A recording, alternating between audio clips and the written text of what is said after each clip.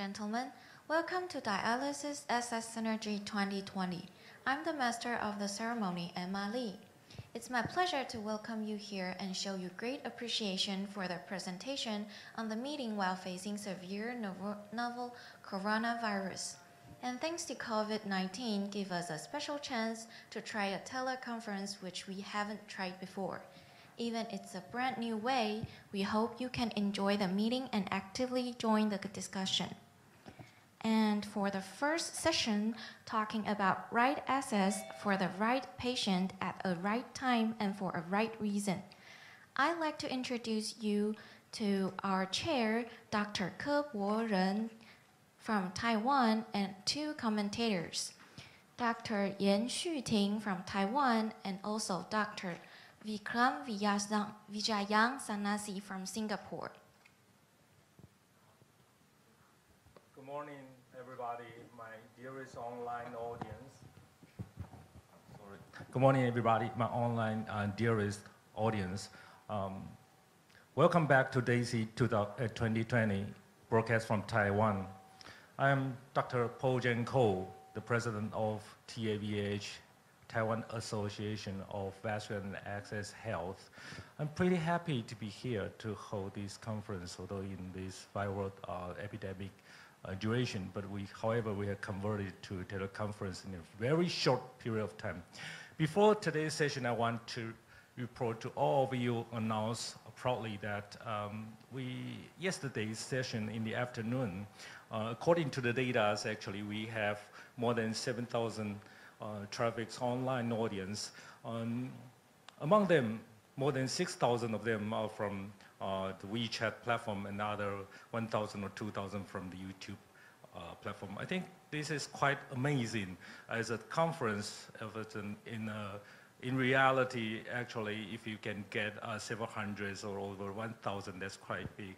Uh, so I think this is a big step for all kind of medical conference. Maybe in the future, this is we can put into consideration when uh, during a, a special uh, moment. Okay, today we are going to start our DASy 2020 with a very meaningful section regarding how to provide optimal care for our patient, how to put uh, patient on our consideration. Uh, our topic will be how uh, right access for the right patient in the right time and for right reason. Um, we have our uh, distinguished panelists online now, I believe. Uh, my co co-chair, uh, the one of our commentator, Yan Xuting, is online now from southern Taiwan. Uh, Dr. Yan, how are you in southern Taiwan? Uh, everything is so everything is fine. For me right now, the clinical practice do not have any influence. All right, that's very good. Uh, uh, here in northern Taipei, our weather is a little bit raining, uh, but the uh, temperature cloudy is quite uh, comfortable. Yes. So in the beautiful Saturday morning, we are going to proceed with our our session on the uh, right strategy for the right patient. How do you look at this topic from your point of view? Are you, do you think that our strategy currently should be changed uh, for somehow for our vascular access management? Dr. Yan.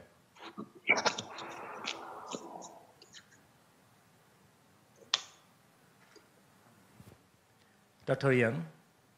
Hi. How, how do you look at, uh, do we need a new guideline or some revision on our principle to manage our patient? I think because the medical practices are more and more better, so I think we should update our practice guideline. And uh, right now for my, clinical practice right now is very different from the 10 years ago, like in, in my fellow. So I think there are many new devices available in Taiwan. For example, like fluency now available in our institute. So the interest the clinical practice in the patient would need AVG, we will shift, gradually shift to the uh, quick uh, early puncture graft to make uh, to lower the in percentage of case the in, implant. Yes. Dr. Yan had mentioned the change in not only devices but also procedures in our daily practice. So apparently, constant change in everything is mandatory. So that's why we are going to introduce today's uh, topics. We have very uh, big, uh, very good distinguished speakers today, including uh, speakers from Canada, Japan, and Singapore, and so on. Uh, so uh, can you see our uh, view? So uh, today we have uh, speakers from everywhere talking about, yeah, you can see on screen. Hi, everybody. welcome yeah, you are all online. So Charmaine, great talk, and you have another set of slides to present, right? Or Uh, I don't. I don't have it here. I'm going to be presenting uh, at three in the morning. It's okay. Yeah, so uh, later on we are going straight into the discussion of the new guideline. Okay, thank you. Okay. So sure. we'll have you back later on. And so I think our next speaker will be from Japan, right?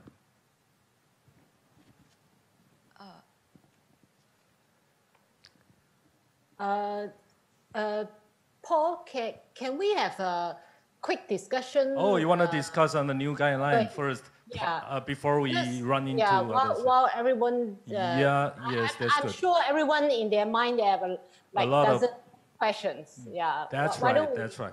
So for me we- myself, I will start from that. Uh, it takes like 4.5 years to get a new guideline be ready. It's, it must have a lot of work. So my question would be that we have to do constant change, improvement on all kinds of clinical management. So if we want to have want to have a new guideline, so I was wondering if the team is preparing for the next guideline from now. Otherwise, we'll have another guideline for next 20 years. Ah, yes. You know, I'll tell you, this was probably the most challenging thing I have done in my career. Um, these guidelines were a tremendous, tremendous amount of work. And I think it took so long because it, there was such a long time between guidelines. So there's pros and cons about that. So the downside is it took so long. The upside is that it had time to accumulate evidence. So I think that it is too long to wait, and there is evidence as to how often guidelines should come out, and that should be actually every four years. So I can tell you, we missed, you know, while we were developing it, there's more evidence. So I can tell you that we're actually doing a collaboration um, with another society, and we're already in the works of already updating these guidelines. So it is actually already ongoing. So you make a very excellent point. Um, in terms of the workload and being on, up to date, I think it is much better to be more uh, frequent in, in when we can provide new guidelines. Thank you. Uh, so can we see the uh, faculty multi-view? So later on, yes, I can see, if you want to uh, say something, raise your hand. I'll, I see it swinging. Yes? Yes, you have something to say, right? Uh, Um, just a couple of things, Charmaine. I think the rule of six is it's really, I think it's a very useful rule, but it's not it's not a law. It's a protocol. Like for instance, I've always said that rule of six is in terms of depth and size is fine. If you've got a 3.5 millimeter fistula that's one millimeter under the surface, that's fine. You can access that. Absolutely. If you've got Yeah. a one centimeter fistula that's eight millimeters deep, you can also access that. So the rule of sixes has to be used in a very flexible manner. The other point I wanted to make is the surveillance monitoring. People s- separate those two terms, and scientifically you're correct. But I think the basic message is you have to look after all your fistulas. Whether you do that with a patient self examining on home dialysis or read your ultrasounds, you know, it's got to be adapted and modified for each patient. But all fistulas should be looked after regularly. Absolutely. So let me comment on the first one. The rule of sixes, I agree with you 100%. It is a good guideline. The problem is, um, not everybody just uses that as a guideline. They use it as um, they must reach all of these rules of sixes. So the point that we were trying to make is that if you are very rigorous and just follow that, it doesn't work. You know, we, we showed that, you know, for most fistulas to work based on those studies that you know a depth of six millimeters may be too deep. So you have to use your own clinical judgment. So that's really the main concept. And uh, we agree with you 100% about every single access every fistula every graft every catheter has to be looked at every dialysis to your point. And that's why we say monitoring is primary. Surveillance is when you use machines like transonic machines and other machines that you can't do every dialysis. That is, you know, on a regular basis. It depends on the skill of the operator. There's a lot of variables. So that's why we can't make it primary. It has to be secondary. We agree with you 100% that that access needs to be looked at every single dialysis, and that is actually also in the guidelines. Yeah, faculty, raise your hand if you want to comment or question. Or, or Jackie? I think Dr. Liu said something. Um, maybe NC first. NC? Can you hear me? NC? me? Can you Yeah. hear me? Yes, I can see you. Okay, great. Can you hear me? I can. Fantastic. Now, Charmaine, congratulations uh, for publishing this guideline. Thank you. I, I like the concept of a lifetime plan. However, how are you going to communicate to the patient and also to the other healthcare facility? Now, if you have a patient that actually comes to only one healthcare system, it's very easy because everything is charted and everyone understands the health, the lifetime plan. However, the patient hops from one center to the other center. Sometimes Yeah. what you wanted for the patient may not be realized by the other, you know, co, uh, you know, practitioner. So that becomes difficult. So Right. what's your strategy? Right. So, so I just want to make it clear: the life plan is about what kind of modality that they're going to have. So, hemodialysis followed by peritoneal dialysis, for example. So, obviously, the patient themselves needs to know because they're the one that's going to be receiving that kidney replacement therapy, be it a transplant or PD or hemodialysis. So they will know. Um, and then following that, their vascular access, that's, an, that's another issue that follows the life plan. So the implementation committee is working on, you know, how can we do this? And, and we've had some ideas, like obviously good communication, the patient should themselves know, um, you know, one of the things that we're thinking of is developing a, a mobile app. Almost everybody now has a phone where this can be communicated or it should be followed by their chart. Um, and actually, in the guidelines, there's a, a template of how you can actually uh, create a life plan and communicate with um, providers in terms of what their dialysis access may be. But I agree with you, it is challenging. It, it's a more comprehensive approach, uh, but it needs more coordinated care. And that's really what we want for our patients. We want a, a team approach uh, to manage our patients. Um, so it, it will take some, you know, good communication and it puts more of the responsibility on on the patient in terms of they should know if they're going to have PD or hemo or transplant and what that order is. So you're right. I think we just need to work on that in a more sophisticated way. Thank you. Uh, Charmaine, uh, so yes, again, uh, congratulations. I think the publication of this uh, uh, new KDOQI as a formal one is really a, a gift to DASy as well. So very happy. Yeah. So I, I have two questions. One is like more limited to the uh, cannulation, the rule of six, where uh, John has uh, mentioned that it is very important that people understand it's a relative combined factors of size and uh, depth, and maybe even also on the tortuosity and everything. Um, but I am a little bit worried when there is no a reference number for the vast uh, number of people who are doing cannulation, and every country, every places is different. There could be sometimes uh, uh, too premature use or too delayed usage of the fistula where uh, um, the practice would be uh, even more difficult to uh, uh, monitor or, or, or advise on. The, the second thing is about the plan, where in your recommendation, you, you do have mentioned about the, the plan have to be changed when the patient's condition change as well. But again, I, I will be actually a bit worried that in the real practice, in the real world practice, uh, for very diligent or very well communicated team, they will change this plan from time to time. However, in, in a system that it is not so well developed, uh, this part may not be able to perform. And so some of the patient, they might stick onto a wrong plan, even the situation change or body condition change.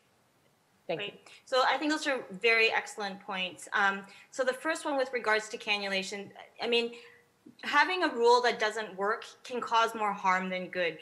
So it's better not to have something that it, that can, you know, put us back. So there's a lot of things when you look at the guidelines that, um, you know, there really is no good evidence, and we make research recommendations. So we know that um, in, in, several studies that um, a good nurse or technician that can cannulate knows 80% of the time, so better than the rule of sixes, when a fistula can be cannulated. So again, to Dr. Sweeney's point, it's that excellent physical examination, looking at that access, becoming familiar with it. And that's why the first recommendation is to have more training with regards to vascular access so they can know you know when to be able to cannulate. So you're right there needs to be more research and, and experience with regards to cannulation and that's an issue uh, that has been long standing so rather than uh, ignoring it and putting on the rule of sixes we really should uh, invest uh, energies in, in determining when should we actually cannulate. Your second question about the life plan i agree with you. So you know, we see patients who are on hemodialysis, they deteriorate, they deteriorate, and oftentimes the plan is maybe they should stop dialysis, you know, and that is often not looked at. Or a patient who is having a failing PD, you know, you, you know patients who leave transplant and peritoneal dialysis, they are constantly starting hemodialysis with a central venous catheter, uh, which is really um, suboptimal. So when we say regularly review when there's a change, so that if a patient is having technique failure with PD or their transplant is failing, that you can actually consider putting in the appropriate fistula or access before that transition. And that actually falls on the nephrologist. So the life plan, you know, when we say it needs to be regularly updated, actually falls on the responsibility of the nephrologist. And that nephrologist really needs to communicate with the rest of the team uh, in terms of the change in their modality and what the implications are for dialysis access. Thank you, Charmaine. So allow me to move forward to next speaker, and then we may have time to discuss later on. For the next speaker, let's welcome Dr. Akira Miyata from Japan, sharing about the pathway dialysis access specialist had gone through in Japan. Everybody. Dear colleagues, my name is Akira Miyata, and I'm working for the Japanese Red Cross Kumamoto Hospital as a vascular surgeon. My specialty is surgical creation and repair of dialysis access and the interventional treatment of vascular access. Today, I will present you the pathway in which we Japanese doctors went through in these decades in the field of vascular access. What I'm going to talk about is what really happened in Japan. I don't think the same thing happened in your countries because the healthcare system is quite different in each country. But about 30 years ago, when I started treating vascular access as a vascular surgeon, there has been very tough event in Japan for several years. Once upon a time, when there was no interventional treatment in Japan, the clinical department in charge of vascular access differed by regions in Japan. For example, in one prefecture, it was urology, in some, surgery, and in another, vascular surgery. Thus, in one area, only one department could perform surgery to create vascular access, while others were not allowed to do it. Although it may be a special case only in Japan, it is possible to perform vascular access creation surgery and interventional treatment without a special qualification. So, when interventional treatment was introduced to Japan, specialists from multiple disciplines entered this interesting field. But which specialists are best suited for vascular access? Nephrologist, cardiologist, radiologist, or urologist? For this reason, there were intense exchange of opinions between specialists. The conference had sometimes a severe disagreement regarding repair and treatment of vascular access, whether interventional treatment is better or surgical repair is better. But if you think about it, nephrologists are not originally trained in surgery, and the surgeons and the urologists are likely to be less skilled in, in, in the vascular treatment than radiologists and cardiologists. In addition, cardiologists and radiologists are not familiar with dialysis and are not familiar with how vascular access is used. Eventually, a study group was established in which nephrologists and urologists jointly discussed together about vascular access. Almost at the same time, a study group consisting of specialists in many fields and specialized in interventional treatment for vascular access was established. These doctors are leaders in leading and coordinating the field of early Japanese vascular access. The two doctors on the left have already passed away, but have left a very important legacy of mutual understanding and cooperation among specialists. As a result, the Japanese Society for Dialysis Therapy established the Guideline Committee for Vascular Access, composed of experts in different fields and published the first guideline in 2005. The different color in, a, in the author's names represent surgery, urology, nephrology, radiology, etc. In 2011, we updated the guidelines to make it more practical. In 2014, a workshop for young doctors involved in vascular access started by the Japanese Society for Dialysis Access. Trainees are nephrologists, urologists, surgeons, etc., and uh, instructors uh, are specialists in uh, various fields to teach basic knowledge and the techniques from the creation to restoration of, of vascular access. This figure shows the relationship between patient and the doctors up to creation and the repair of vascular access, which is published in the vascular access guideline of the Japanese Society for Dialysis Therapy.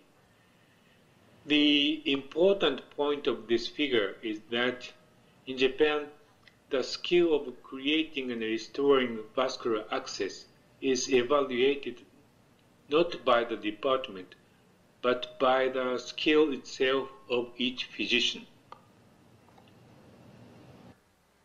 And in the last decade, new players around dialysis patients have emerged in Japan. They are specialized nurses and clinical engineers who specialized in extracorporeal circulation shown with orange color in this slide. This slide shows a medical round at a clinic. In addition to doctor, nurses, clinical engineer, nutritionist, and financial clerk surrounded the patient, present the data to the patient, and plan treatment with the patient. In this way, in Japan, we are now trying to provide uh, harmonized medical care by multidisciplinary specialists for dialysis patients. Thank you for your attention, and special thanks for your support and help after Kumamoto earthquake in 2016. Thank you very much. Well, uh, thank you, Dr. Miyata. You have told us a story every, which is which is very, very uh, inspirational uh, regarding multidisciplinary cooperation. So, any comment from our faculty? I think this is fantastic. Uh, you see, uh, in Japan, happened. Uh, different specialists work together for guideline, which is quite, I think, is very good for the, the patient. Yes, Jackie. Uh, yeah, thank you very much for the, the excellent talk about the pathway that uh, Japan has gone through. Uh, in, in a lot of uh, other countries, uh, there is also this accreditation issues. Uh, that means uh, different specialists, um, maybe they are like through the training, through their daily practice, they're already doing a certain procedure or, or doing certain uh, operations. But uh, now there is always a concern about accreditation uh, to allow um, people with a specific experience uh, uh, legitimated to do a specific procedure. So how is it uh, being rolled out in or practiced in Japan?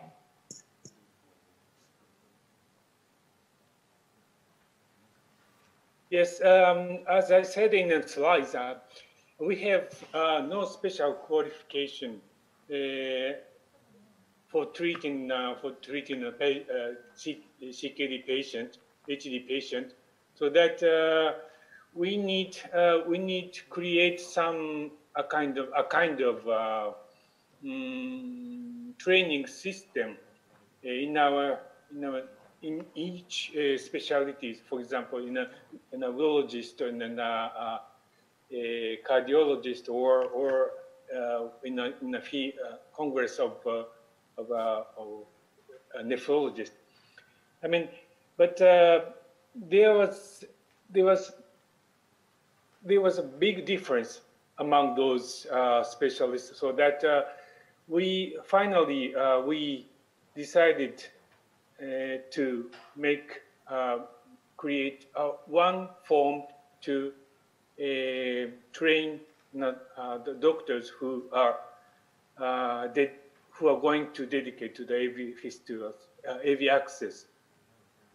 So um, Japanese Society of uh, Dialysis Access uh, once a year uh, uh, get together and uh, all the specialists who can be a trainer uh, get together and then train the trainees. Uh, the number of the, those trainees are almost at 20 uh, to 30, not so, not, not such a big number, but uh, uh, every year we uh, try to try to teach them from the um, from the uh, how, how to create uh, create a vascular access AV fistula to uh, graft or how to do intervention by using a pig. this could be, um, let's say, somehow functioning, not it is not uh, very good way, but uh, uh, this is what we are going to, we are doing now. Um, Jackie? Yeah, thank you. Uh, thank you, Miyata. So now we are going to proceed to next talk. Okay. For the next speaker, let's welcome Dr. Jackie Ho from Singapore. Her topic is functional success of AVF, whole process review. Good morning, everyone. Appreciate the extraordinary efforts of the organizing committee to allow us gather here online to continue discuss the matter close to our heart, dialysis access. Native vein fistula still being regarded as one of the best modality of access for many kidney failure individuals. However, the clinical outcome, functional success of AV fistula can be quite disappointing. Here are two big studies published in year 2018. One reported more than 45,000 AVF created within a year in US, and only about half of them are ever being used within four months. Another study, DOPPS, show huge discrepancy across the world in terms of the utilization of distal upper limb AV fistula and its success rate. Here is the beginning of the process on the left-hand side where nephrologists consider patient having a need for dialysis immediately or in the near future. And on the right side is the end where we can eliminate the need of a central venous catheter or remove it. Many people think that this part is the main reason for the discrepancy. Surgeon evaluate the patient, make clinical decision and carry out the surgery. Studies have been done extensively to review the influence of vessel size, vessel quality, patient demographics, access decision, surgeons' surgical skill, etc., on fistula success rate. All these do affect success rate, but this part cannot account for all the discrepancies we observed. After the creation, fistula maturation can be a wide spectrum of condition. On one end, it can be very fast, very good maturation, and cannulation super easy. On the other spectrum, it can be thrombosis soon after the surgery. Well, in between, there are some fistula matured slightly slower, not too obvious, uneven diameter, or deeper situated, or tortuous in its course. Successful cannulation may not be so straightforward. There could also be intimal hyperplasia developed in the inflow segment few weeks after the creation. Those AVFs will need various assisted procedure to make cannulation steady. In the whole process of creating a fistula and making it functionally successful, many different discipline specialists, physically likely not in the same location, and might not even know all the name and faces within the team, have to work together with the patient to get the ultimate goal successful. I would say it is not easy at all. With that in mind, we want to study in detail the whole process of this fistula maturation and successful cannulation. Within the whole hospital, two of the nephrologists, myself, and a nurse specialist rather focus on access performance, work close together. So we will review the patient being taken care under this small team only. The role of nephrologist, vascular surgeon, and nurse specialists have some overlap and some unique aspects. All of us do post-op maturation assessment and cannulation planning. Nephrologist has more role in decision to initiate access creation and maturation intervention. I have more role in surgical decision, actual surgery, decision of secondary maturation procedure, and carry out the procedures, as well as doing ultrasound guided fistula cannulation for challenging cases.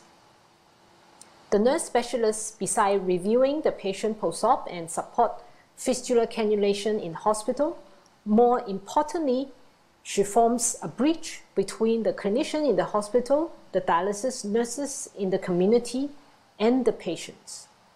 She will convey information of where to cannulate to the dialysis nurse and feedback on what was the challenges encountered. After fistula creation, all patients will be reviewed within two weeks for wound and flow, then every three to six weeks for maturation. Secondary procedure to assist maturation will be offered if poor maturation features was detected. The team will bring the patient with less ideal fistula in to do ultrasound guided cannulation for one to two times. The ultrasound assessment enable us to pick up the most favorable site for cannulation. Then the needle marks can be followed by the community dialysis nurse afterwards.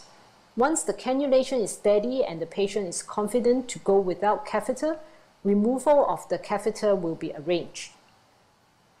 The study includes patients from January 2015 to October 2017.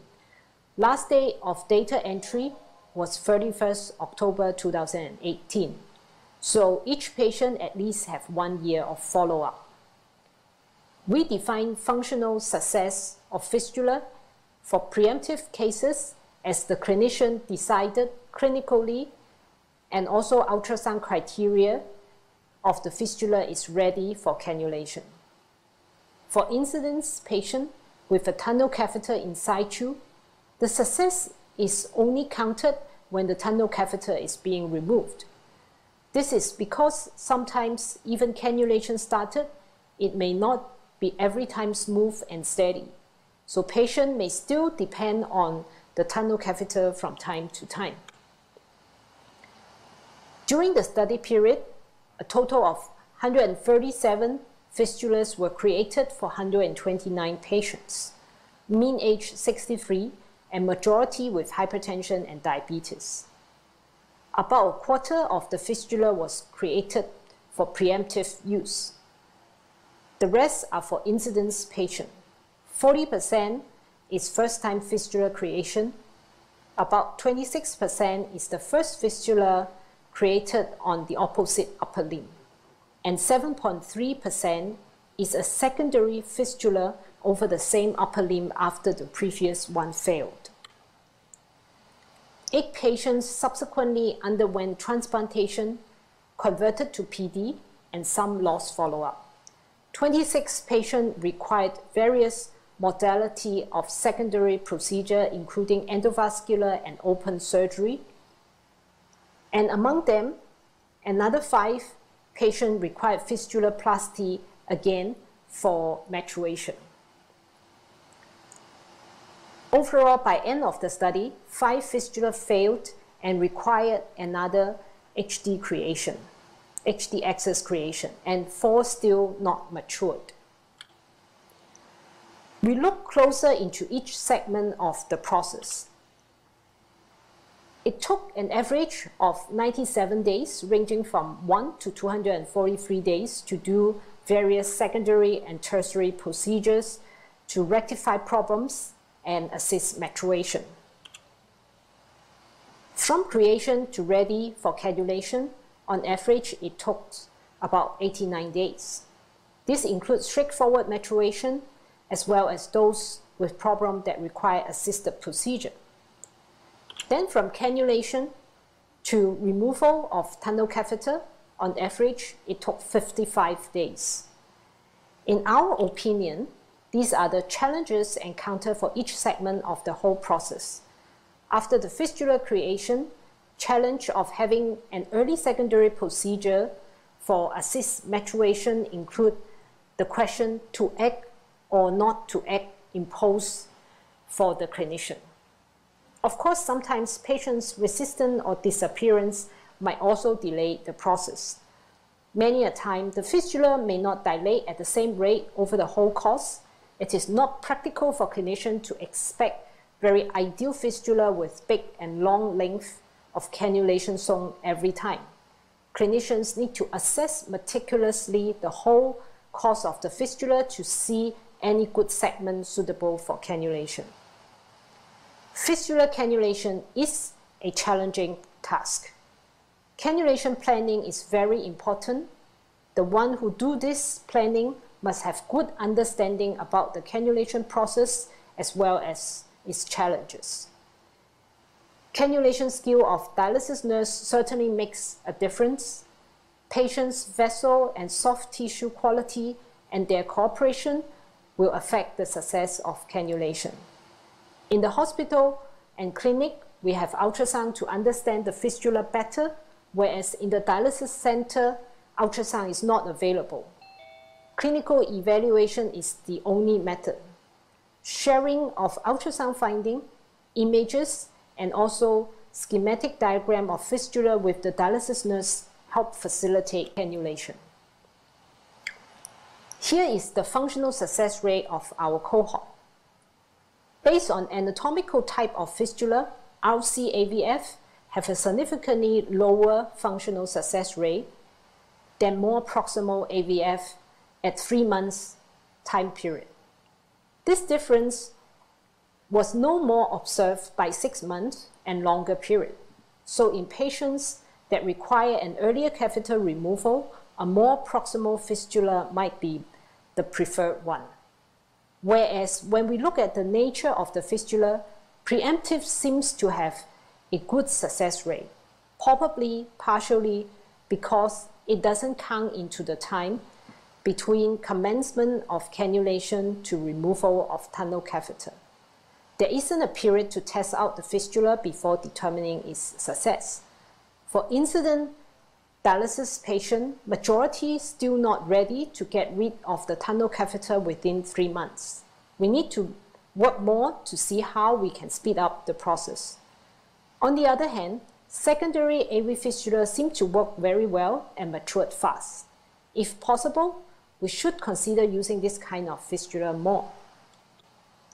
I hope our study had illustrated the complex process of an AV fistula from creation to functional success, involving various specialists in different work locations. We need to examine each segment of the whole process carefully to identify where is the holding up. Our results indicate there are still rooms for improvement, and I believe for all of us working on dialysis access, we must invest on a harmonized, structural, concert, concerted effort team to provide the service in order to give a good outcome. Thank you very much. Excellent, excellent experience sharing, excellent experience sharing from Jackie Ho. Uh, can I ask a question? Uh, does the study result of your uh, experience change your clinical practice in the future? I think uh, there are a few things that we want to do in the future. Number one, we should have a more structural uh, uh, tracing up of our progress.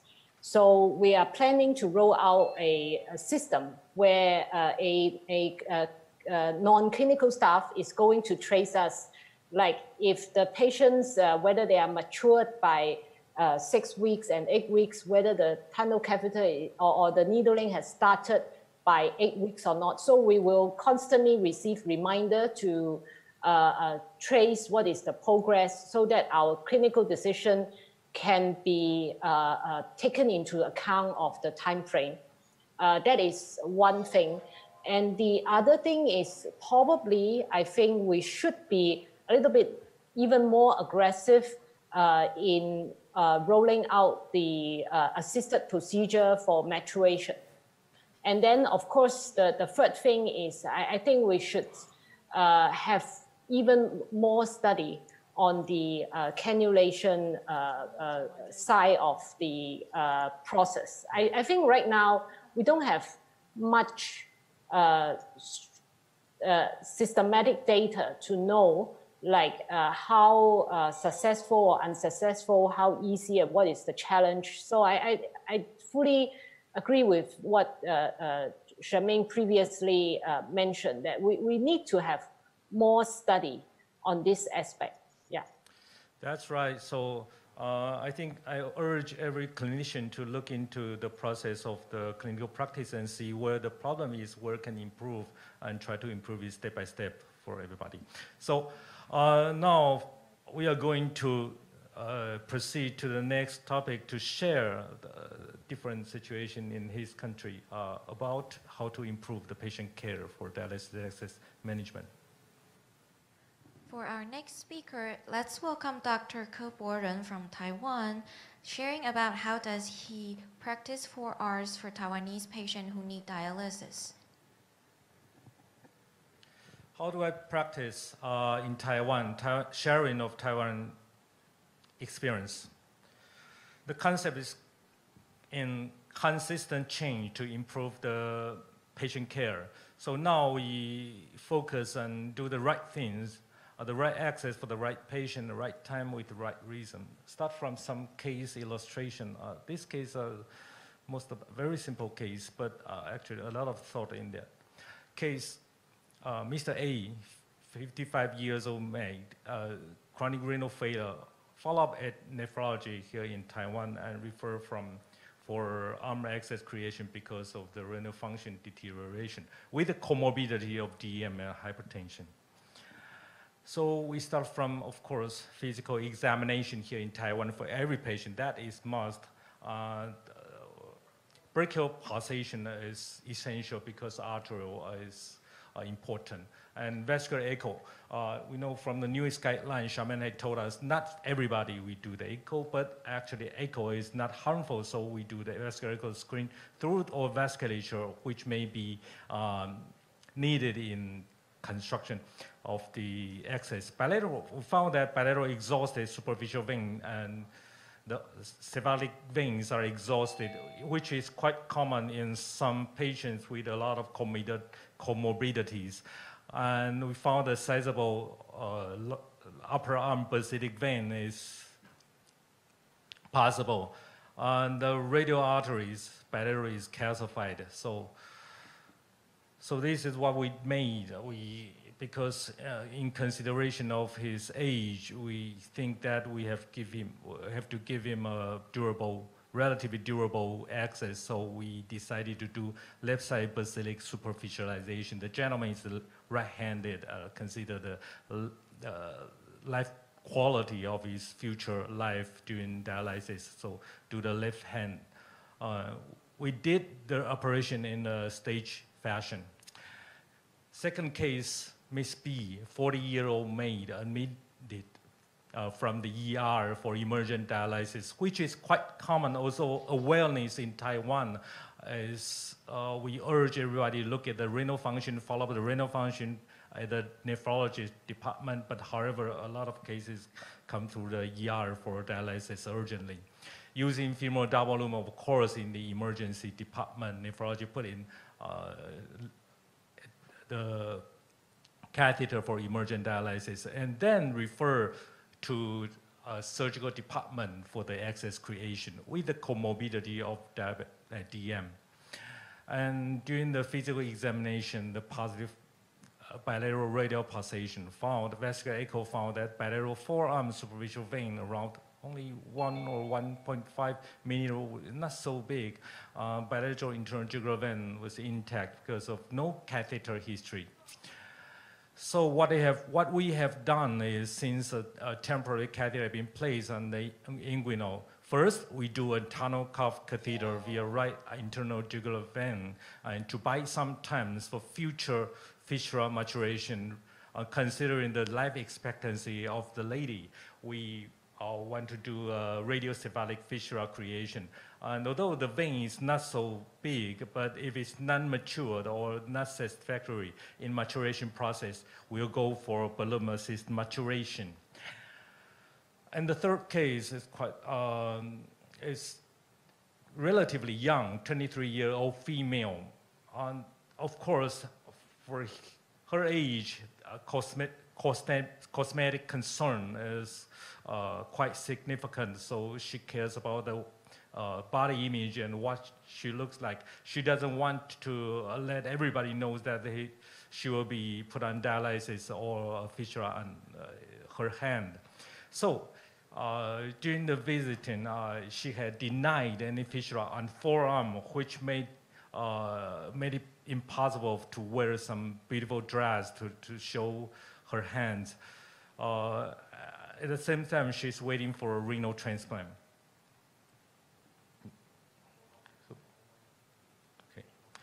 So for the physical examination uh, and vascular echo, we found a positive cephalic vein over uh, the upper arm and forearm as well. But after a long discussion, a thorough discussion, we have discussed the pros and cons of the radiocephalic uh, creations. But eventually, we come out with the decision made uh, with, uh, after discussion with the patient. We had made a decision to to do a left elbow brachiocephalic fissure creation. So, which is uh, quite uh, stay away from our uh, usually consensus of radiocephalic first some brief introduction of the condition in Taiwan. The reimbursement is quite uh, insignificant, uh, very significant difference from uh, some of other countries. In our country, in Taiwan, we have nearly 100% coverage of population by the healthcare reimbursement. The healthcare reimbursement covers the dialysis patient as well, uh, including access creation, revision, and intervention procedures, including those uh, device, balloon, wire, stent graft, catheter graft, surgical graft, and so on. No co-insurance have been paid, so actually it's quite generous for our dialysis patients. The care of dialysis patients in Taiwan is given by multidisciplinary specialists.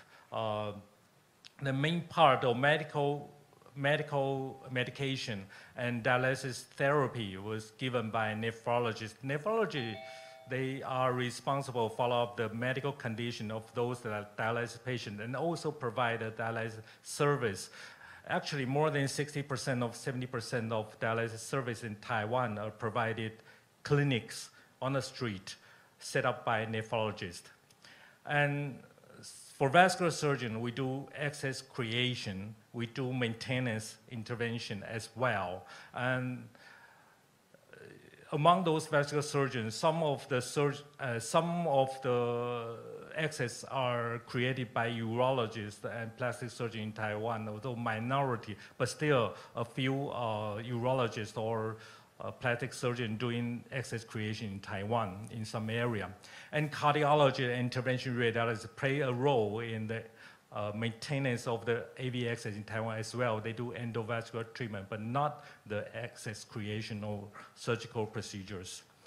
The access creation, uh, nephrologists can uh, they decide the patient selection and because of the total coverage of reimbursement, the nephrologist send the patient, refer the patient when they think it's necessary to the vascular surgeon they know. And vascular surgeon will do the rest of the work, including planning.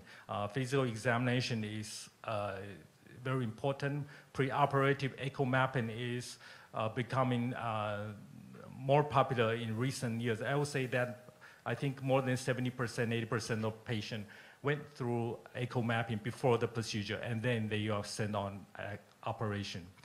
As for access maintenance, the nephrology, they do, of course, monitor. During the dialysis session, the nurses of dialysis center, they do the physical examination every time. And surveillance, and some dialysis center, they do surveillance uh, to take the flow uh, probably every three months or four months. Uh, surgeons, uh, we do monitors uh, we do surveillance, we do intervention, we do revision if necessary. So some, a bunch of patients, uh, we will arrange regular follow-up in surgeon's clinic to do physical examination and uh, echo examination in our clinic visiting. And cardiologists and intervention interventionists, and when necessary, some nephrology will send the patient to uh, the cardiology for intervention. As for best timing, um, early referral to access surgeon is very, very important. The concept has been implemented to almost every nephrology, but however, the biggest hurdle is the patient's concept. Still, uh, I think uh, patient awareness is very important regarding the uh, uh creation of the AV access. Uh, in Taiwan, actually, there are very close relationship with, with uh, between dialysis centers and the access surgeon interventionist. Every dialysis center actually have their own connection to, to the preferred surgeon or interventionist to do access maintenance work. So they do uh, the works in very good co cooperation. So for the right reason, of course, we do the access for prepare for dialysis or the patient uh, need long-term hemodialysis or when sometimes the nephrologist decided when the patient need a bridge to further replacement therapy such as transplantation or PD, then we as a surgeon will call upon for uh, access creation. Uh, for the principles of, of uh, creation of access, we have several weapons at hands catheter. But of course, uh, most of our physicians, we think catheter last is a very important principle. Uh, we prefer tunnel cuff catheter rather than TEMP catheters. Uh, even if the duration of a catheter implantation is within one month, we, we, will, we like tunnel cuff catheters. And fistula, most of us start from RC and BC, and some of them superficialization and BEM, especially for relatively young patient, we need a fistula. We think fistula is better than graft. And the graft, now we have early puncture graft and HeRO graft at hand. For selective patient, this might be a good way to consider. Patient first, I think this is very important. Recent years, actually, we listen more and more to our patients, not only order them, but discuss with them, uh, consider the age, gender, comorbidity, and life expectancy. Every patient is different. Anatomy, of course, is important. A lot of things, uh, especially the willingness of the patient, it is uh, much neglected in the past. Now we care more and more about patient's willingness. And of course, after the creation, the accessibility to medical service of patient is very important. For example, a patient lives far from the medical service provider or near the medical service provider uh, face different situation, we may uh, have to come up with different plan of treatment. So in short, uh, in conclusion, in Taiwan, we do total coverage of health insurance. That's very lucky for our patient. We do joint effort of different specialties. Uh, that's good for our patient. And so we do the right things for our patient. Thank you. So we are moving forward to the next uh, speaker to share his experience on dialysis access care. For the next speaker, let's welcome Dr. Jen Jung Swinen from Australia, sharing how does he practice four R's for Australian patients who need dialysis.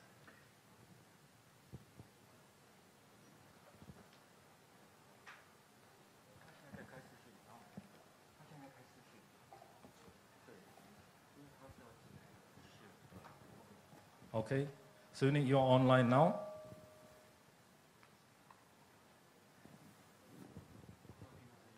Hello?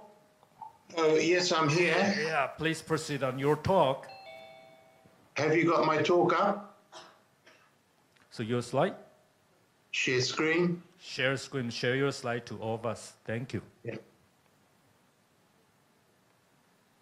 Can you see that? Yes, clearly. Okay, excellent. So first of all, I'd like to congratulate the organisers on getting this telemedicine conference going in presence of coronavirus. And I think the excellent session yesterday, where people who've been dealing with dialysis in coronavirus epicenters have given us advice on how to deal with it in our country. I think that was very helpful yesterday. So I've been asked to talk, how do I practice the four R's for Australian patients? I've taken a very holistic approach and I've really looked at it as renal replacement rather than just dialysis. So first of all, the context, Australia, that's what I'm talking about. Um, Australia is a very wealthy country, as you know, and we have a very good Gini index. We've got low inequality. So our wealth is well divided across our population. We have an excellent public health system. And most importantly, and one of the themes of my talk, is we have a robust renal transplantation program. Finally, another factor is we've got an aging population. So when a patient's in, in end-stage renal failure, there are four management modalities available. Transplant is the best by far, and transplant is the cheapest, and that's what we should be aiming for. The others are peritoneal dialysis, hemodialysis, and medical management. And something I've been giving a lot more emphasis on is medical management. Now, medical management of itself is not a long-term renal replacement therapy on its own. You can keep people alive with medical management for a while, but not in the long term. But one of the take-home messages about medical management is that medical management is not palliative care. In a lot of places where people talk about medical management, it's seen as abandoning the patient and allowing the patient to die. Whereas I see medical management as very much an active part of renal replacement therapy, an active arm. It should be given to everyone, and in many cases, it should be the primary treatment, especially with an aging population. So, medical management is an active treatment delivered by dedicated clinics and dedic- dedicated specialists. And it must be emphasized to that patient. If a patient sees medical management as being abandoned by their doctor and no longer cared for, they won't want it. However, if it's offered to them as an active treatment and the best treatment in their situation, they will take it up. So, as I say, it can be effective in the short and medium term, and in the sick and elderly population, it is often the best outcome. As, as a lot of you may know, there's actually a French study which compared medical management to dialysis in the sick and elderly, and they found that people with medical management lived longer and better than those given dialysis. So, what I've found over the last 10, 20 years doing um, dialysis uh, renal replacement therapy in Australia is that the situation in our country has changed dramatically.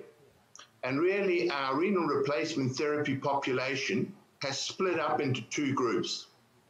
First of all, there are the young, the healthy, those with good life expectancy, those with good renal failure, like polycystic kidney disease or IgA, who are otherwise healthy people. That's group one.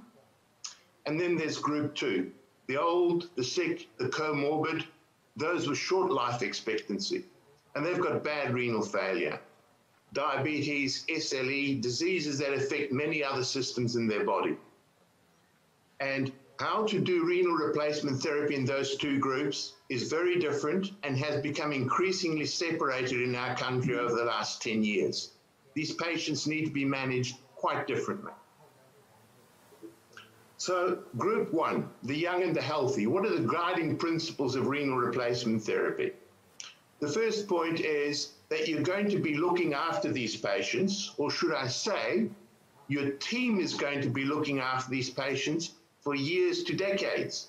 Some of these patients will be alive for 40 to 50 years on renal replacement of one sort or another, well, belong, well beyond the um, occupational endurance of a single specialist. Renal transplant is the mainstay of the management of these patients.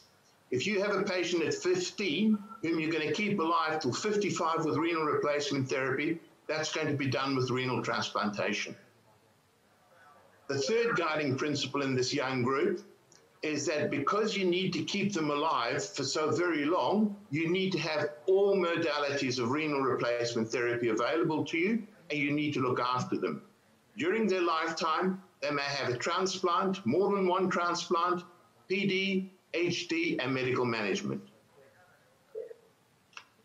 These are figures from Australia renal transplants per annum in Australia between 2000 and 2018. In 2000, we transplanted 540 patients. In 2009, we transplanted 800. And then in the last 10 years, we've doubled the number of transplants we do in our country. So we've caused an enormous increase in the number of transplants in our country in the last 10 years. And that happened through cultural change. If you look at the deceased donors, our main source of transplants in Australia, from 2000 to 2018, we've doubled that number. So we're using many, many more deceased donor transplants than we did in the past. And this is projected out to 2025, we will be using close to a thousand deceased donor transplants. And remember, this is happening in the presence of falling road fatalities. Our main source of kidneys is road deaths. Yet the number of road deaths in Australia in 1980 was 1,200 and in 2012 was 600. So we're receiving fewer and fewer deceased donor kidneys because there's fewer dead people, but we're using more and more of them. So in Australia now, we've got 1,500 people on the waiting list, and the average patient waits three years to get a kidney. In addition, graft survival rates have increased dramatically. The five year survival rate of a graft in 75 79 was 36 or 63%, depending whether it was deceased, donor, or live related. In the, in the 2000 2004 year period, the five year survival rate had gone up to 81% and 88%, a dramatic increase. So, in group one, transplantation means that a patient will receive a kidney within three years. The transplant will probably last 10 years or more, and the patient is likely to receive more than one transplant. Therefore, in that group of patients, hemodialysis and PD play a bridging role only. Hemodialysis is short term. The fistulas in these young patients are relatively easy to make and are often ligated after first transplant. And they may have a second fistula because they've got good venous real estate. The main thing in this group is to avoid VAS caths and avoid destroying the central veins. Peritoneal dialysis is also important in this group, but again, it's used as a bridge between transplants or a bridge until a functional fistula can be established. One of the ways of avoiding VAS caths is to use the quick start Seldinger PD technique, which we've introduced to our unit. So just to compare the result of that, Australia and Malaysia have similar population, Malaysia is now a developed country. But look at the number of people on the transplant list. We have 1,500. Malaysia has over 22,000 people on the waiting list. Why? We transplant over 800 a year, in Malaysia 80. So the first take home message, how do I get the right access to the right patient at the right time for the right reason? Answer, fix your renal transplant program. Australia and Europe have succeeded in doing that, and you can too. We changed our culture and have a successful transplant program. You can all change your culture as well and obtain more kidneys. The second group is the old and sick, and that's the growing group in our population. The guiding principles of renal replacement therapy in the old and sick is that you have to do renal replacement therapy that's appropriate to the life expectancy of those people. And I think that's one of the biggest problems in the developing world. Renal replacement therapy has to be appropriate to their comorbidities and it's got to be appropriate to the patient options available. Medical management only if the quality of life of the patient is poor. If the patient tells me that their quality of life before dialysis is started is bad or dreadful, it is going to be no better on dialysis. It's going to be a lot worse, and they probably shouldn't start dialysis.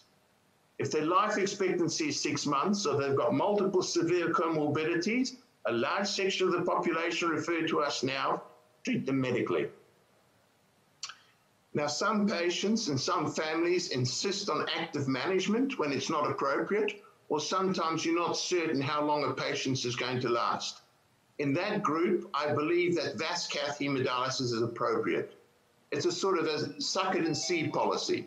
Give the patient VASCATH hemodialysis and see how they go. And if they find it's too rigorous, they switch to medical management. If it's a success, you create a fistula. Hemodialysis or peritoneal dialysis in group two. The decision making depends on three things. The first, the most obvious, what is medically possible? The second is what is socially possible? And the third is what's the patient's preference? In that order. PD contraindications, severe peritoneal membrane damage, membrane failure, or large irreparable hernia. Medical contraindications to hemodialysis is inadequate with cardiac reserve, inadequate arterial reserve, steal, or inadequate skin integrity. The fourth one is the least important. It's used all over the world as an excuse for not making a fistula. There's no suitable veins. But if you have surgeons trained in making fistulas under all circumstances, that's really the reason for not using hemodialysis. In terms of social reasons, for peritoneal dialysis being a home dialysis policy, the patient needs suitable hands and eyes so they can actually do their dialysis. So severe arthritis, blindness as in with diabetes are all contraindications. The patient needs to have the cognition to understand how to do it and what's implied, and they need the so- social support. Also, they need a suitable home environment. For hemodialysis, you need an available dialysis center or the ability to do home dialysis. centre. Patient care of preference is one of the biggest stumbling blocks in this elderly group. Patients often demand this or that when it's not medically suitable or when it's not in their best interests. And I think the attending physicians, the nephrologists, and the access surgeons should be more directive in guiding the patients into what is best for them. So this is an example of a patient I was shown, 55-year-old diabetic, presented with end-stage renal failure, VAS cath placed, and a brachiocephalic fistula created. Now he's got an ischemic hand. The question is, Dr. Swinnen, should we do a DRIL procedure? How do we treat steal in this fistula arm? The answer is this is not a fistula problem. This patient should never have been offered dialysis via hemo. He should have been given peritoneal dialysis. His problem is now that he's got end stage renal failure, he's got an ischemic arm, and he's got no proper renal replacement therapy. And here's another example, but a worse outcome. This patient's come in with renal failure. He's now got renal failure, an amputated arm, and no access. This should have been treated with peritoneal dialysis. Thank you for your attention. Well, thank you, Sweeney. Uh, so next we are moving to the experience from United States, and then we'll go for a discussion on all the talks. For the next speaker, let's welcome Dr. Ingemar Davidson from United States, sharing about how does he practice for hours for American patients who need dialysis. Everybody, I'm Ingemar Davidson from Dallas and the great state of Texas. I will divide my presentation in three parts. First, I will give you a perspective of how this phrase, doing the right thing, came about in the dialysis field. Second, I will share with you a snapshot from my own experience of applying this concept into my own professional life with dialysis access. Finally, I will conclude this concept of doing the right thing in an editorial type summary. In the beginning of my career, there was no dialysis and no kidney transplants available.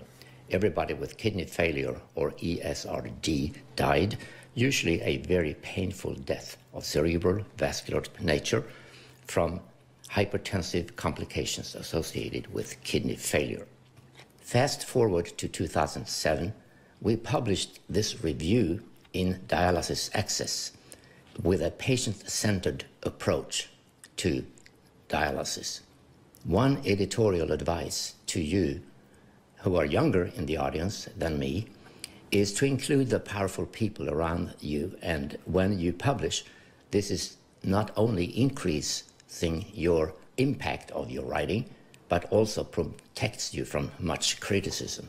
As you may be able to read, I included, with their consent, of course, Dr. Maurizio Gallieni, who is still the editor of Journal of Vascular Access, and Dr. Dolmatch, who runs the CiDA program with me. And finally, Dr. Saxena, who runs the peritoneal dialysis unit at Parkland Hospital in Dallas. In this article, Table 2, outlined on the left side in this image, seemed to catch much attention at the time. It is a mission statement for a dialysis access center designed to apply anywhere on the globe. The implications are that not any single access type or device can or must fit right for everybody, every time, and everywhere. In fact, it varies depending on many factors. This is the core message of my talk. The concept of doing the right thing has stand the test of time. Forward from 2007 to 2012, Dr. Charmaine Lok of Toronto, Canada, and I wrote these follow up papers reflecting the mission statement published now in seminars in nephrology. Dr. Lok, as everyone in this audience know, is the chairperson of the new DOQI 2019 KDOQI guidelines. And the new spirit of the DOQI guidelines concurs with the doing the right thing for everybody at all times. This is a slide from Dr. Lok's talk last year at the DASy meeting in Singapore, as well as the CiDA meeting in San Diego last October. I'm sure you have seen this image minutes ago during Dr. Lok's presentation of the new DOQI guidelines. In fact, the fistula first and the distal first concepts are no longer at the forefront of dialysis access DOQI guidelines. This message of one size fits all is no longer valid. Each patient needs individualized attention. I will in the next few slides explore the various situations out there using an altitude or metaphor. In this case, is an operator who only performs AV fistulas for various reasons. From the aviation metaphor, he or she has not even left the airport. This scenario represents very limited options for the patient. To give you a global view of dialysis access, and let's elevate ourselves so that we can see the big picture of delivering dialysis access applied worldwide. In this scenario, at the bird's level, the access options now include catheters and grafts, but not peritoneal dialysis there is a subliminal and unacceptable separation between PD and hemodialysis in many places in the world, which in fact deprives our patients from the most appropriate first time dialysis mode in 50% of cases. A reason not to include PD is sometimes said as, I am a vascular surgeon, I don't do PD. The next level of access program includes peritoneal dialysis. This scenario is often associated with a transplant program. On the next altitude level, we can see the entire city where all access procedures are done in a coordinated fashion, including transplantation. If we decide to fly even higher at 60,000 feet at a supersonic speed, this image paraphrases the national level of ESRD and dialysis access planning.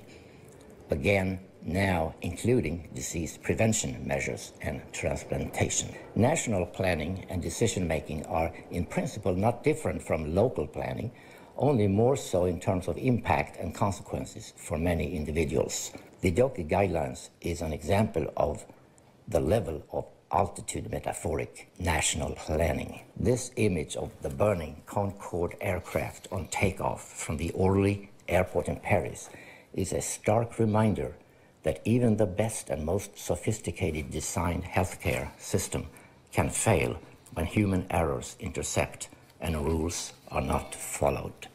Can we fly even higher? Yes, indeed, we can. The International Space Station, abbreviated ISS, symbolizes the global approach to ESRD. As the ISS is an amazing technical achievement, there is ample evidence it has contributed to world peace by the requiring of trust and cooperation between the world's leading powers to achieve this mission in space. Clearly, the ESRD healthcare global community could do something similar, not even having to leave the airport. This is a somewhat heavy loaded slide. It summarizes what modern or perhaps better an effective ESRD program could look like. This table outlines my thinking about the algorithmic selection of most optimal or the right renal replacement therapy. The subliminal message of this tabulation also is that ignoring transplantation, PD or grafts exclude up to 50% of your ESRD patients from the best or right renal replacement options. First, as medical professionals, our role is to prevent disease to happen in the first place. Obviously, we need an understanding patient or patient population, which is not a reality in most world societies. The patient responsibilities in prevention of kidney disease is a subject for another meeting session. After all, the kidney is the best dialysis machine. Few patients, or less than 3% in the US, qualify for a transplant per year for lack of acceptance criteria and lack of available organs. There are several compelling reasons to make peritoneal dialysis the most appropriate first-time dialysis modality in select patients, even in the case of excellent vascular mapping results. Patients who disqualify for PD should get an AV fistula when vascular mapping confirms suitable vascular anatomy. Then, in this algorithm, grafts come in with various strong benefits.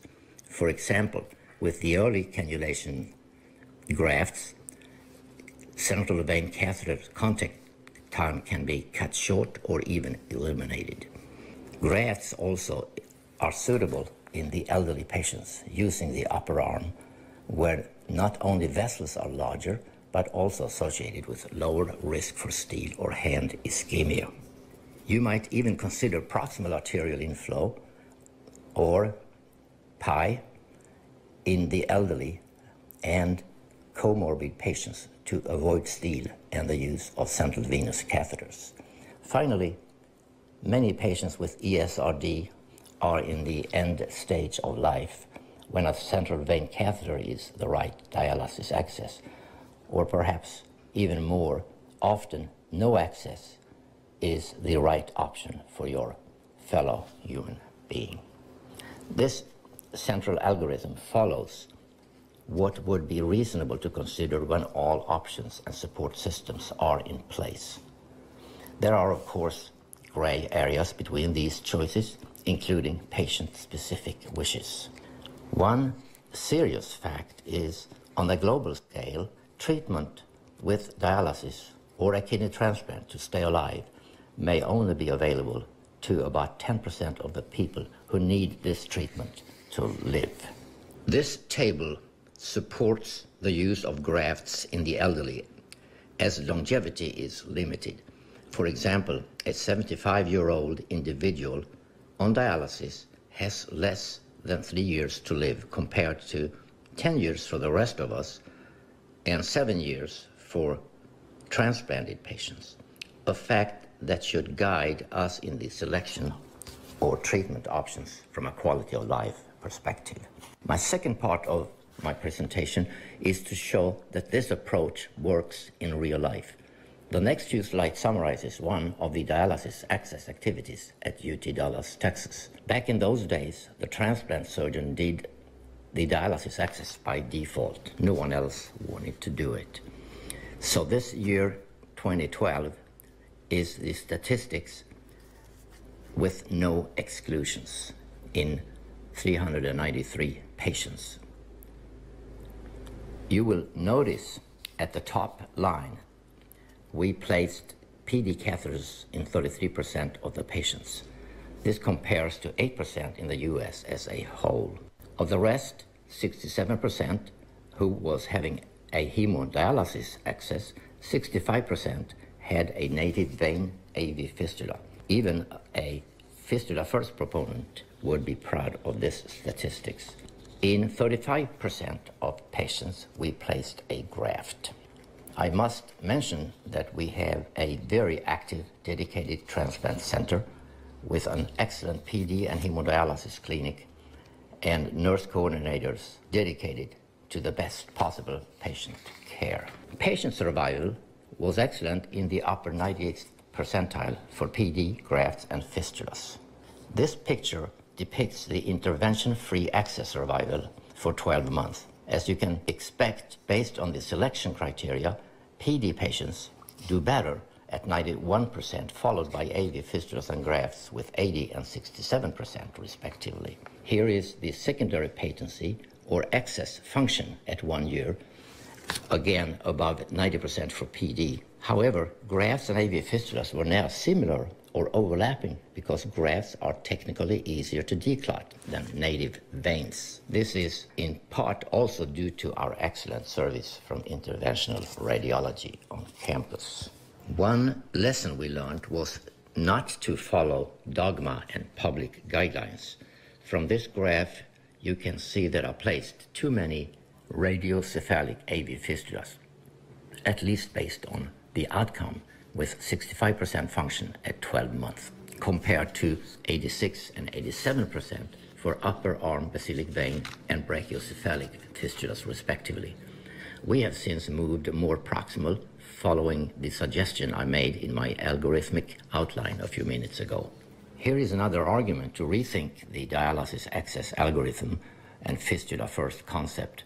In this paper by Al Balas, the overall cost of AV fistulas over grafts was about 4,000 US dollars, or even more, or $10,000 in a single center study by Dr. Desai of Chicago, mainly by using early cannulation grafts and eliminating the use of central vein catheters. If the catheter use in the US would decrease from currently 80% at initiation to 20%, a society savings of 200 million would result.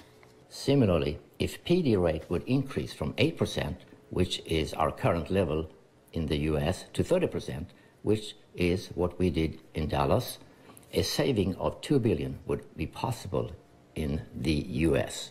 Along this thought, the prevalent PD rate in Hong Kong is 73%, suggesting that PD is indeed a viable option.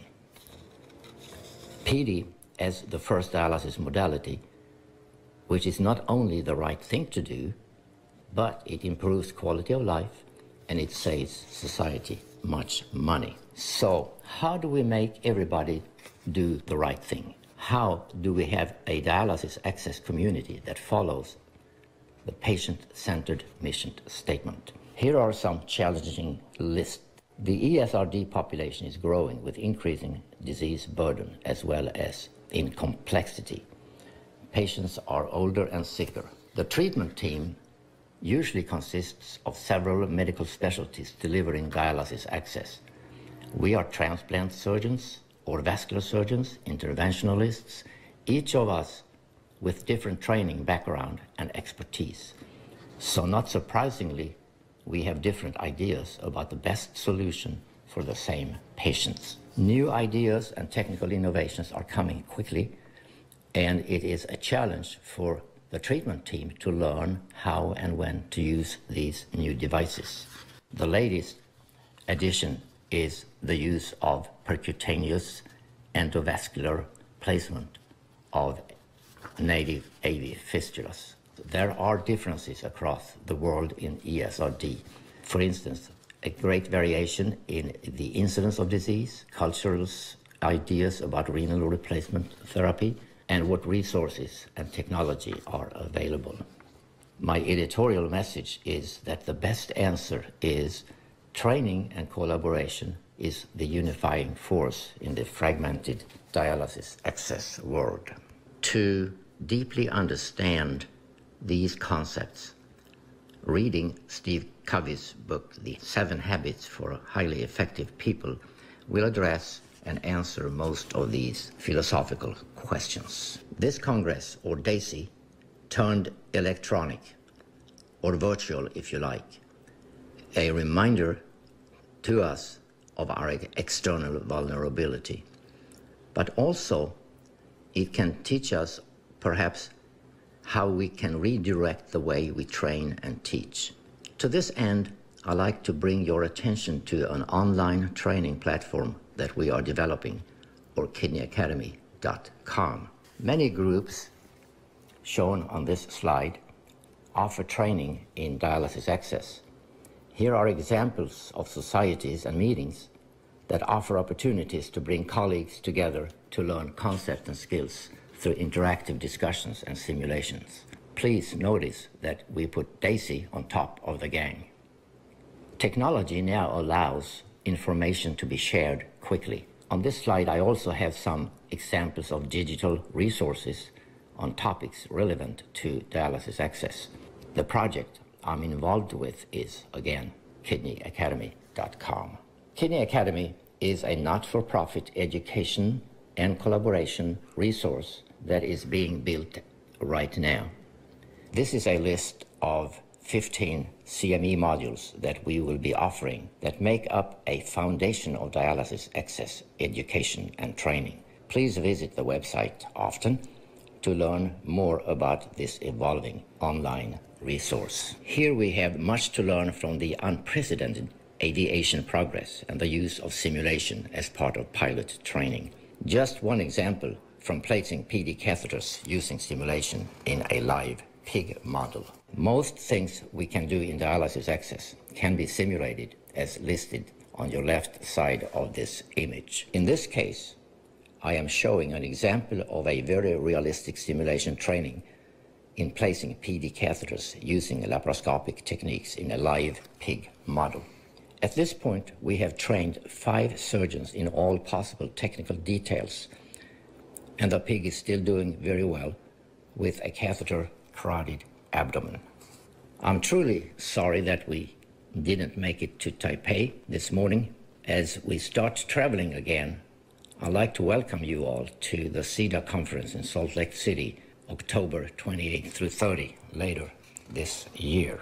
Thank you, and I wish you the best for the DASy electronic meeting, and have a great day.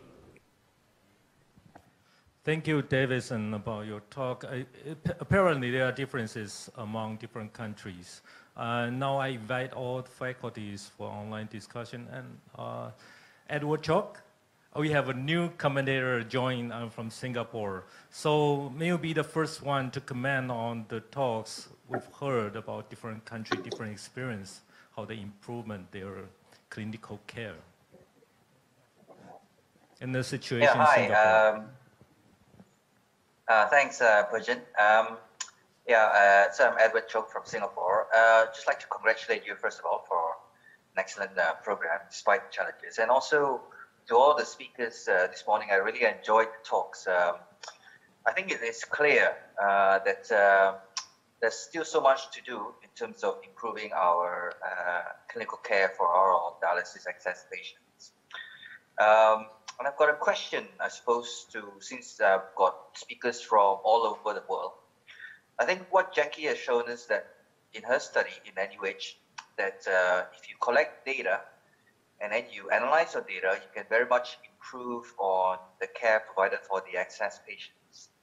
So, for example, in all other other areas of uh, um, uh, uh vascular surgery, we've got initiatives uh, to improve care. For example, in aortic surgery, carotids, and lower limbs, we collect prospective data and we then analyze and see how we can improve things. I just wondered whether there's a similar thing in other countries where you uh, have a, uh, for example, a, a, dialysis access initiative where you collect prospective data, you see how long your access needs to mature, and how many of these goes through balloon, assisted maturation to be used as a carrot rather than a, a stick to improve uh, uh, access.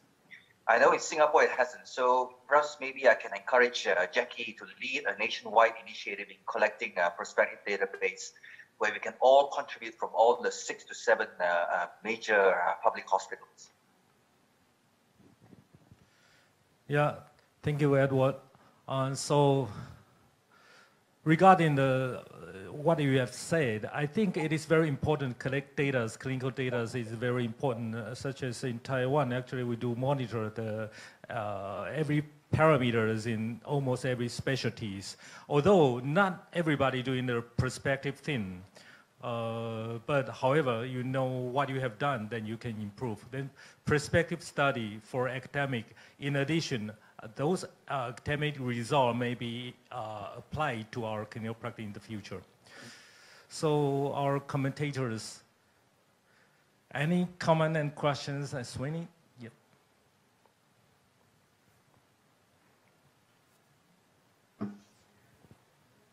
Can people hear me? Yes. Yeah. Um, I want to comment on what you just said and what Jackie said about collecting data and following fistula maturation. Uh, we've got a very active renal replacement therapy program. We've got a very well organized um, uh, transplant program, yet it's an extremely complex system.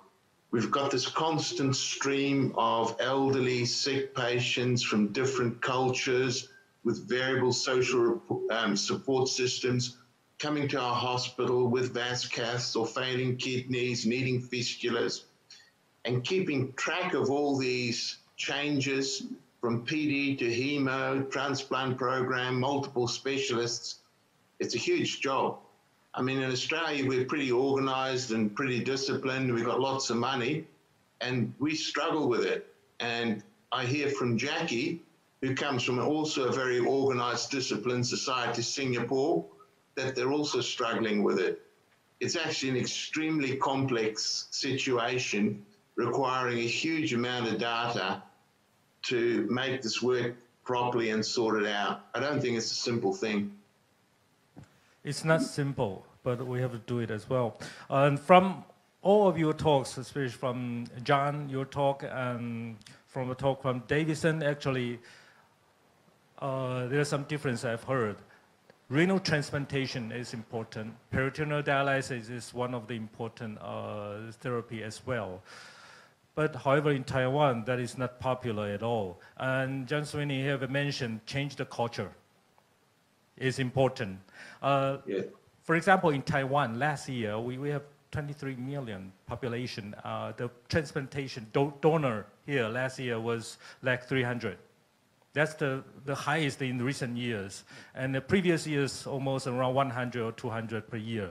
So how do you, how do you guys, you can improve the transplantation or, do, or change the culture, how to do it in United States or in Australia or in, even in Canada? Yeah, look, if I can answer that, um, for many years I went, I've been going around Southeast Asia and people tell me, Dr. Swinnen, we can't transplant here, it's cultural. And I accepted that. And in Australia, between 2000 and 2010, we were trying to improve our transplant rates and it didn't work. Our transplant rate in Australia between 2000 and 2010 was stuck and it didn't move. And although I'm not a transplant surgeon, I work a lot with the transplant team, Jeremy Chapman, etc. And then suddenly in 2010 in Australia, but also in many European countries, our transplantation numbers exploded and it's gone up enormously, doubled, even more. And it's a cultural change. And the cultural change was ultimately this. What was happening in our countries where we depend largely on deceased donor donations, um, injured people would go to ICU, usually road trauma, young people, and the ICU people would look after them. And at the last moment, the renal physicians would come in as the patient was dying, and they would ask the family, Can we have his kidneys? And the the family would, of course, say to the renal physician, You're a vulture, go away. You're not touching my son or my daughter. And the culture was changed that the responsibility for speaking to the family and harvesting organs from deceased patients was passed from the nephrologists onto the ICU teams. So it became the responsibility of ICU and the anaesthetists and the intensivists to liaise with the patient's family from the word go and to introduce the concept early so that people requesting the kidneys and not the nephrologists coming in at the last moment like vultures harvesting the organs, but it was the doctors who'd been looking after that dying patient for the last two weeks or two months, whatever, who'd formed a relationship with the family asking, we can't save the patient, but can we have their kidneys? And that enormously changed the donation rate. That's a cultural change that's been affected in Spain, in Belgium, in Europe, in Australia. That cultural change has enormously increased kidney donation and has had a huge impact on the patients we look after, patients with end stage renal failure. And then I'm told in Malaysia and I'm told in Singapore, we can't change our culture. Why not? In Europe and Australia, we've changed our culture. You need to address those things that are stopping your population from donating kidneys. Well, thank you. So any comment from other faculties? Yes, Charmaine Lok? Oh, can you hear me? Yes, clearly. Okay. Uh, so I want to congratulate the speak many of them, including Dr. Swinnen, uh, really embodied um, in their talk the, the life plan and transplantation PD and so on and so forth. But I just want to comment about the culture. So I live in Toronto and it's very multicultural. And it is it's not just the culture, but there's also religion that needs to be considered when you try to get people into transplant. And that's one of the important things about the life plan is to talk to the patient very early on to see what their cultural and religious beliefs are um, so that you have that relationship so that we're not coming in as vultures um, you know that we have that communication with the icu doctor even. So we were able to change the balance of um, you know increasing our transplant by trying to we actually went out to find out why our transplantation rates were low. And the honest truth is sometimes you can't change it because there is that very deep religious belief. In other cases it's cultural and it, it takes a lot of work but it's education. It's educating the patients with regards to you know the, the benefits of uh, transplantation. So I think it's I, I think it's very complex, and I think every society and every country is different. So while something may work in Australia, it may or may not work in in Singapore, just because it's not just the culture, but the, the religion and how information is disseminated. And I, and I think that it will take a long time to move everybody in that direction, but I think it can happen by examining your own culture and your own country and I do believe if everybody thinks about the life plan, to think, and I do believe transplant is excellent. It is the best, you know, kidney replacement therapy. That if we talk to people about it and educate them, that it can be included in everybody's life plan. Thank you, Charmaine, for your uh, remind us for the important things. The religion is important, education is important. And, uh, Miyata, we'd like to hear a comment from you. Yeah. Uh, Japan is a, a really uh, developing country in, in far as the, the uh, brain death transplant. And, uh, but uh, we, uh, young people, has now changing their, their ideas. For example, in our prefecture in Kumamoto, the whole population have a different idea, different ideas and for the brain death transplant, but they we had uh, the questionnaires uh, for the, the our uh, population, and then um, elder people does not agree uh, about with this uh, brain death transplant in 70%. But younger people, the, actually, and the high school students, 75% of young people agree with this um, uh, uh, uh, brain death transplant. So that as um, as as we mentioned here, the education is very, very important, and uh, it is quite difficult to uh, educate elderly people, but uh, we can do it for the younger people.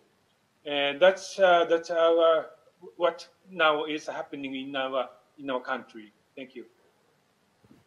Thank you, Miyata. So, any comment from other faculties? Uh, NC Liu, I see you raise your hand. Yes, can you hear me? Yes. Yes, I'd like to make a comment about uh, uh, Jackie's uh, presentation. I'm quite impressed that if you do a preemptive fistula, at the end of the study, she found that more than 90% of this fistula can be used for dialysis. And I share the same uh, belief that in countries like Asia, where we have smaller vein and smaller arteries, perhaps early fistula saves life. Because I know there are some studies, say in the from the published in US that showed that if you were to do a preemptive fistula early, uh, especially elder individuals, sometimes up to 30% of this fistula weren't utilized. So it's like a wasted fistula. However, in Asia, you find that when patients come late, they go on central venous catheter and etc. When you compare those wasted fistula versus the complication arising from central vein uh, occlusion, you find that it's it's cheaper to have wasted fistula than to manage those with central vein, uh, venous occlusion.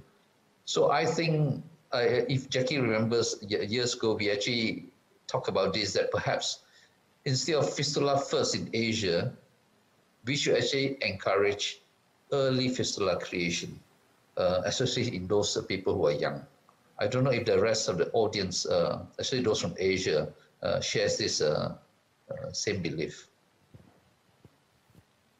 Yes, for, for me personally, I, I absolutely support for the early referral and the early construction of the AV fistula. Yes, other faculty, Dr. Yan? Yes. Uh, I think the, the transplant is the best treatment for RRT, renal transplant, uh, for the end-stage kidney. And uh, in Taiwan, I also in uh, the transplant team in, in, in my hospital.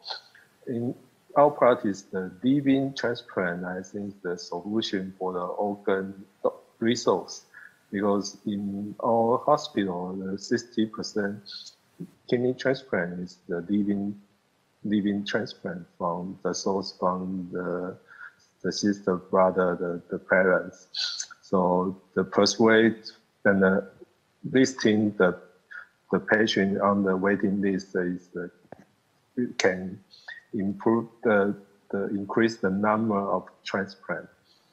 And uh, the other thing is the I, I think that uh, I'm talking about the visa first in the early time, I believe in the fistula first because the no infection and uh, the patency is more better than the graft.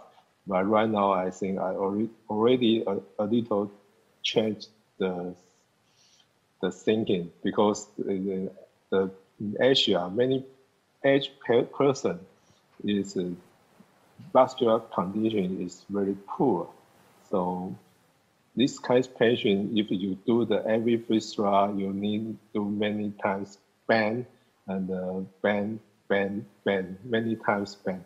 So when this, this, for the patient is very unhappy.